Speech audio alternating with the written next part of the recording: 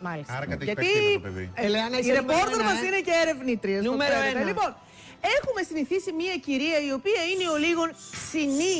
Ξυ- Τραγουδάει μόνο. Τραγουδάς. Κορίτσι μου, Ωραία. όμορφο τραγουδάς. στην Γιατί δεν πας στο κουζίνα. ράζι. Ποιο τραγούδι έλεγες; Του μπουγά έλεγε ένα.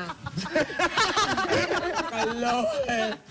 Είμαι χαρούμενη. Όταν είμαι στην Εξωπλανητάρχης. κουζίνα είμαι χαρούμενη. Παιδιά τραγουδάει μόνη της στην Συνέχεια το κουζίνα. κάνεις. Παιδιά, είμαστε εδώ Ελλάδα. όλοι, όλοι χρήζουμε. Εσύ ειδικά.